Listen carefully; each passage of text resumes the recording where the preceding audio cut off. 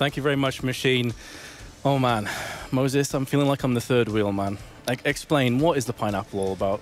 You know, a lot of people have been asking that question lately, uh, so we thought that we would we would show you guys the explanation behind the pineapple. We'll bring it up on the uh, on the screen for you. There it is, ladies and gentlemen. This is esports.